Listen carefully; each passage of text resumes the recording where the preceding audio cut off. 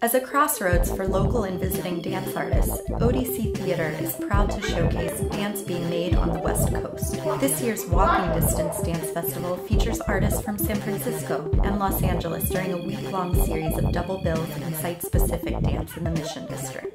Experience the kinetic poetics of d. Sabela Grimes with ELECTROGYNOUS at ODC Theater. Head to the park for a new work by Kimi Okada on a playful cast of canines.